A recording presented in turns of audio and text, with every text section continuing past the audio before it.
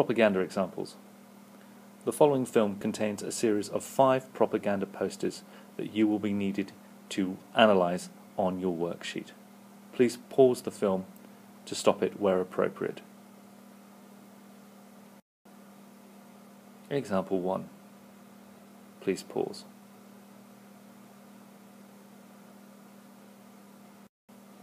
Example 2. Please pause.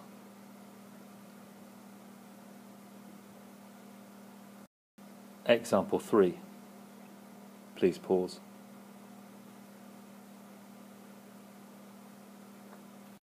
Example 4. Please pause.